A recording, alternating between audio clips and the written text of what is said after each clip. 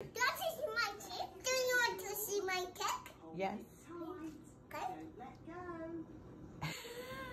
George has let go of the balloon. Uh, Maybe I'll hold this very Do you want to see my valuable cake? Do you want to see my cake? yes.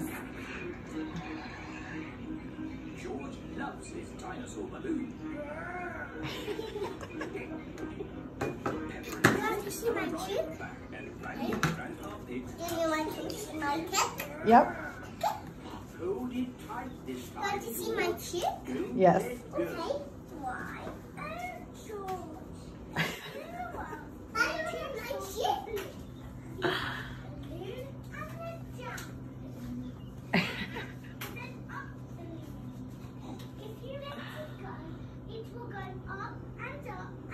you see that? yes, I did.